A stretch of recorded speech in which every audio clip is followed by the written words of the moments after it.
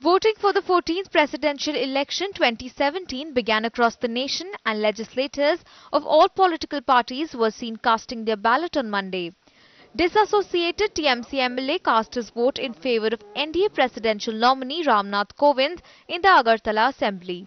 Assam Chief Minister Sarbanand Sonowal was also seen casting his vote in Guwahati for the 14th president. The Indian president is elected by the Electoral College which comprises of all the elected members of parliament and legislative assemblies of the states and union territories.